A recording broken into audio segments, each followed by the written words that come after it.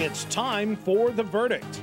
The Verdict is a lively discussion of current events and legal issues pertinent to Oklahomans.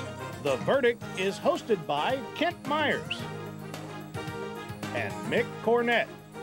The Verdict is brought to you in part by Betcher, Martin, Jean, and Jackson when hurt people need help. Betcher, Martin, Jean, and Jackson in Ponca City. It's time for The Verdict. And welcome to The Verdict. I am Mick Cornett, and I am joined by one of Oklahoma's top legal experts, Kent Myers. Kent, welcome to, to another good show. Yes, and uh, happy three-year anniversary. How about that? That is. We made it. Amazing. April of uh, 2001, we did our first show. It was actually, quite appropriately, April Fool's Day, uh, Mm-hmm. 2001, we did our first show. And uh, had uh, two interesting guests, uh, John Nance and John Coyle. John Coyle being a, a uh, really premier uh, criminal defense lawyer. Uh, for our third anniversary show today, we're going to be joined by Jimmy Linn, who also is a premier criminal defense lawyer as well as uh, what could be uh, called a lawyer to the stars. He's represented a lot of famous people. Jimmy has had a colorful, uh, effective, interesting uh, career in Oklahoma City and in Texas and around the world, frankly. We are thrilled to have him. He'll be exciting to, to hear about. Uh, he's uh, also, it's not why we have him, but he's also the, uh, the father of Rex Linn, the actor. Uh, so Jimmy is, will be on to celebrate our third year uh, with our viewers, and we're so glad you're still here. Uh, so I'm looking forward to it. We will meet Jimmy Linn, attorney to the stars, when we return. You're watching The Verdict.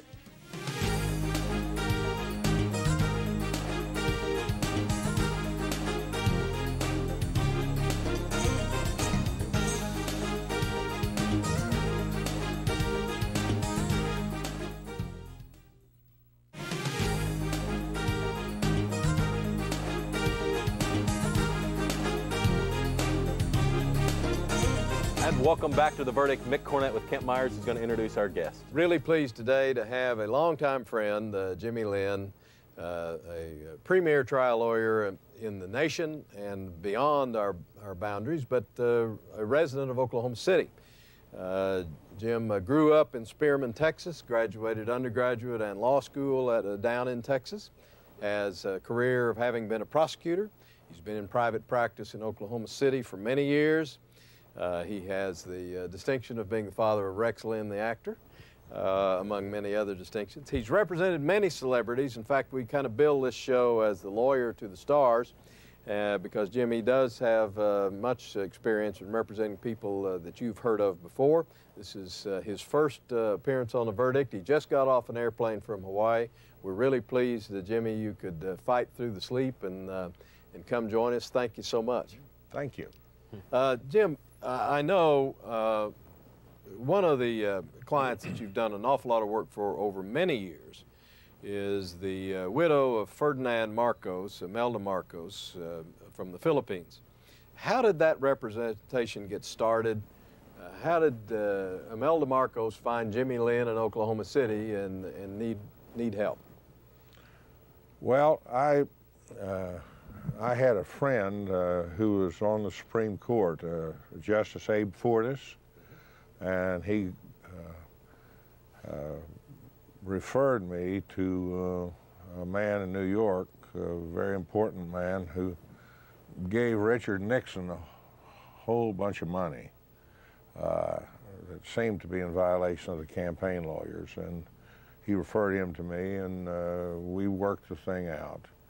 And uh, I, uh, Abe Fortas uh, sent clients to me, and because of my friendship with him, a New York lawyer referred me to Adnan Khashoggi when they, I forget what year it was, but uh, they called it the trial of the century then. The, the American government indicted uh, Adnan Khashoggi, the Saudi arms trader, and Mrs. Marcos and her husband, Ferdinand Marcos. They were in Hawaii. Ferdinand Marcos died in the, uh, while the, the thing was pending. Uh, and Mrs. Marcos was tried. She was represented by the famous lawyer from the West Coast, uh, uh, actually from, from uh, Wyoming, Gerry Spence.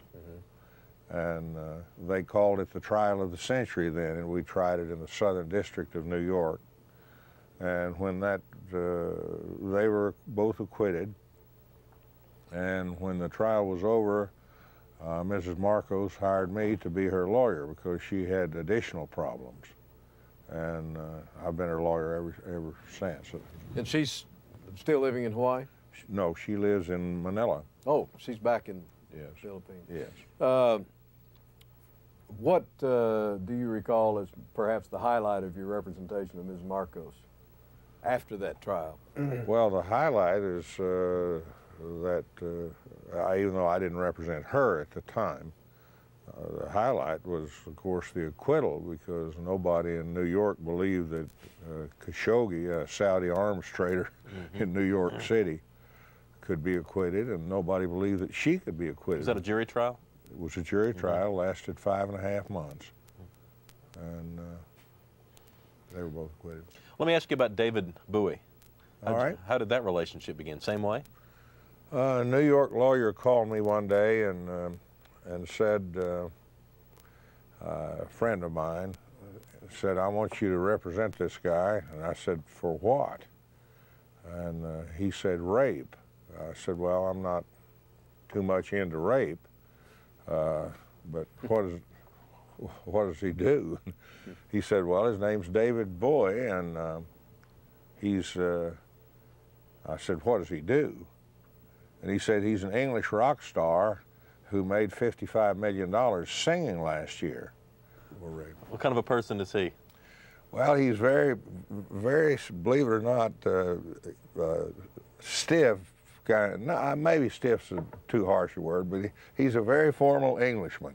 And uh, the allegations of this case were rather lurid and uh, made him look like uh, really some kind of a uh, that he had great sexual prowess, and uh, I told him he should plead guilty, and uh, he he did not think that was funny. Uh, but anyway, he we got him clean. Uh, one more big name, and then we'll kind of change the subject a little bit. But I know that you've represented Dinah Shore. Dinah Shore was a friend of mine, and I was her lawyer for a long time. What uh, what kind of work, uh, without getting into the, anything that's confidential, what kind of work did you do with? Oh, uh, uh, those were business matters, really. Dinah was a saint. She never would be in any kind of trouble. I mean, she, she's a pure, was a pure lady in every sense of the word. As is Mrs. Marcos, by the way. You were going to ask me about the shoes. Yes, I was going to ask you about Imelda Marcos' 3,000 pair of shoes or whatever the number was. Well, when she was First Lady of the Philippines, which she was for 22 years, and she's dearly loved there uh, because she built the heart center, the lung center, uh, she built everything in the Philippines. And uh, she, uh, they have a hundred, at least a hundred shoe factories in Manila. And the Italians send leather over, and uh, the Filipinos make the shoes and send them back to Italy and make the very, it's outsourcing, and uh, send them back, and the Italians mark them up about a thousand percent and sell them to your wife. Uh, but uh, every, when they come with the new lines, every spring and fall, I guess, uh, they would come and give Mrs. Marcos shoes. Well, most of the, she's got got at least 3,000 pairs, but most of them don't fit her. They're not in her size. But she does, in fact, love shoes. I drive up Northwest Expressway and see your name on the side of uh, the Integris Medical Center there. That must be something you're very proud of. Well, yes, I've always, uh, I'm, I'm proud of that institution. Uh, uh, you know, I, it's, it's a great, uh, great institution, and uh, uh, I've, I've always been partial to them, even though I'm not Baptist. But uh, What specifically carries your name at, at that facility? well, that's the uh, the heart uh, area, the surgical tower up there for the heart. Uh, that that had uh, a great deal to do with my close friend, Dr. Nazih Zuhdi, who's you know been uh, for a long time has been very prominent there, still is prominent. in that. Attorney James Linn will be back with more on the verdict right after this.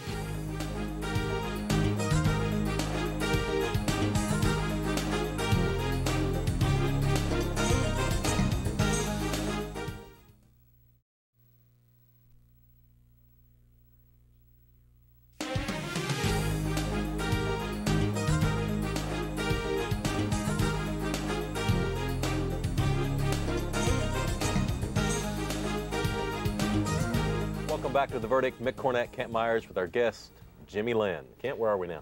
Uh, Jimmy Linn was a respected uh, trial lawyer in Oklahoma City when I started practicing, and I followed your career with great interest and appreciation, Jimmy, over the years. Uh, you've been in the in the trial arena for for many many years. What have you seen as the principal changes that have taken place uh, over your practice, for good or for bad?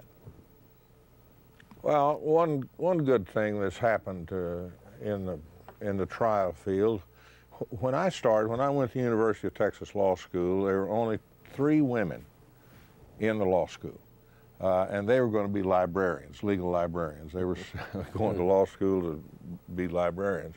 Well, now over half of the, uh, the people in law school are, are females.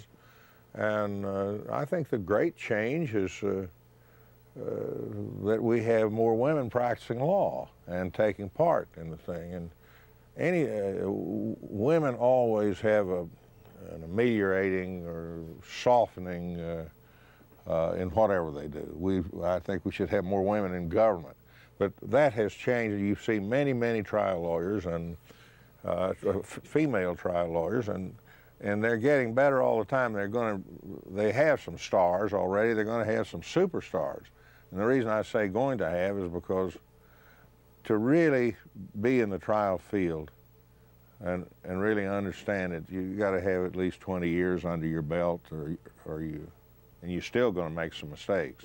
But that's the change. I also see a great change now. Uh, lawyers are becoming more civil in the courtroom and the depositions. It's uh, it's not. Uh, Is that good or bad? Oh, I think it's very good. I, you know, I've seen lawyers that just are just totally uh, uh, belligerent from the word, from the very beginning, and uh, hostile. Well, the law was never made. Uh, the law is made for confrontation of, of, ideas and facts and so forth, but it was never meant to be uh, brutal and impolite, ungentlemanly, or unladylike. We're in the middle of the Terry Nichols trial in McAlester. What are your thoughts on the Terry Nichols trial in Oklahoma? Well, I never thought he should have been tried. He he had, in my mind, the worst penalty already that he that anybody could have, and that is uh, uh, life without parole. And where they put a man like Terry Nichols, they virtually put him in solitaire, uh, like they did John Gotti. Uh, like, I mean, a prisoner like that is going to be uh, isolated and he'll uh, he'll wish a thousand times that he had gotten the death penalty in the situation that he'll be in. I don't say they torture him, but I'm just saying that his future is terrible. And to waste the taxpayers' money in Oklahoma to try him to try to get the death penalty, which probably will be reversed anyway in the appellate courts. Uh, when he's, there's no way he can get out of his life sentence. It's final. Mm -hmm. You've You've been trying cases for a lot of a lot of years. Are there any highlights or significant events that stand out in your mind as uh, things that uh, uh, are most memorable to you? Yes, I would say. I would say back in the uh, in the 80s, uh, I was uh, I was indicted. I was with Four Seasons. I came over here with Four Seasons Nursing Centers, and the New York prosecutors called me up there. They indicted the, the principals, uh, and they called me up and wanted to, uh, to New York and wanted me to tell a story on the, the chairman of uh, of uh, Four Seasons, and uh, which I declined to do because I told them it was not true. And uh, they indicted me on 55 counts because I wouldn't tell that story. And uh, with with three Arthur Andersen partners, uh, the accounting firm, which mm -hmm. was was not in disrepute at that time. Uh, and I was out of money, and uh, nobody who hasn't been uh, pursued by the federal government can realize the trauma of it. Uh, because they have all of the the advantage. They have the advantage, the presumption of guilt. We, uh, in this country, we don't have a presumption of innocence. We have a presumption of guilt. and uh, so you have to overcome that. Anyway, I tried it. I, I represented myself. Two New York lawyers represented Arthur Andersen, and uh, the trial lasted five months. It was transferred here to Oklahoma City, and, and I was acquitted in, in uh, I was acquitted in less than seven minutes after a five and a half month trial. And uh, that trial, well, as Samuel Johnson said, if a man is to be hung in a fortnight, it greatly focuses his, his attention. and that focused your attention. It focused my attention. I represented myself, and mm. uh, I told the, the jury in the opening statement, I said, a lawyer who has a has himself for a client has a fool for a client. That's the old saying, but I said I'm the best I can afford. So. what do you think about television cameras in the courtroom? Well, I think it would be all right. I think it might uh, it might make the lawyers and the judges a little better. You would have some some showboating uh, mm-hmm. uh, there, but you know some some judges wouldn't want the people to see their demeanor in the courtroom. Let me ask you about jury selection. It seems mm-hmm. to be that we're putting more emphasis on jury selection these days. Mm-hmm. Maybe it's just my perception. What's your thought on jury selection? How important is it? Well, I've tried I've tried cases, jury cases in 42 states, and uh, uh, some of them were important cases, and uh, I, have I've used many jury consultants, uh, everything from uh, the client's aunt to doctors of philosophy to psychologists, and uh, and sometimes it works, sometimes it doesn't. Uh, the fact is, you can't predict what the relationship between a certain juror and yourself as a lawyer is going to be, or what the relationship will be during the trial to the lawyer on the other side. And uh, so it's it's not a it's an art, not a science, by any means. But I do use jury consultants uh, in in major trials, and uh, sometimes it's worked, sometimes it hasn't. What's the longest trial you've ever had? Well, uh, I was in, in the Khashoggi and Marcos trial. The trial actually lasted five and a half months, but I, I stayed in New York nine months. Mm -hmm. I've had several that have lasted about uh, five or six months, uh, accounting cases, audit cases representing uh, accounting firms. And I tried the famous Golden Buddha case that they've made movies about in in Honolulu. I hate to jump in, but we are out of time. Good. Jimmy, appreciate you coming in and being on the verdict. Yes, thank, thank you. you. Jimmy. Thank you. Good to see you. Kent and I'll be back with a final word after this. Okay.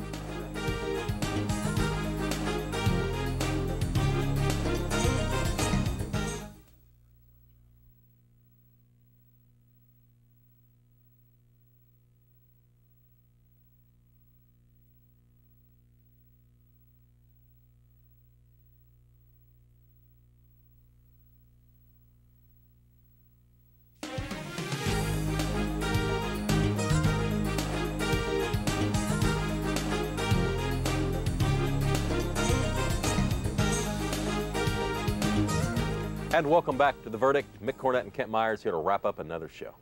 Always fun to have Jimmy Linn around. I've known him for many years. He's been active in the practice here for uh, a very long time and quite a, uh, an interesting, colorful, uh, fascinating character.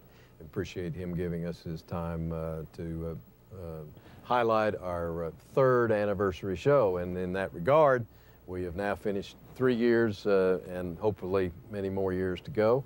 Uh, Mick, any reflections uh, from your standpoint on um, three years? A blur, 150 half hours. It went very quickly. I learned a lot, you know, and I hope our viewers did too. Educational opportunities for me every week, and, and I think our viewers appreciate it. I know that a lot of the feedback that I get is that people say, you know, I didn't know that until I saw it on the verdict. Well, that's what we really have always tried to do, as you know, since you, you were with us uh, all the way through from mm -hmm. show one to show whatever today is.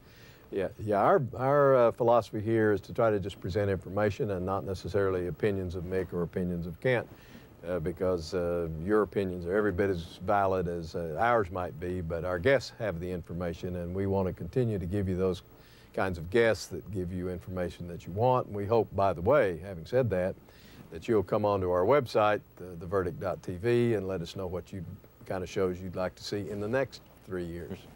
All right, Kent, thanks. Good show again. Thank you. Don't forget theverdict.tv. That's our website. Tell us what shows you'd like to see on a future episode of The Verdict. For Kent Myers, I'm Mick Cornett. We'll see you next week.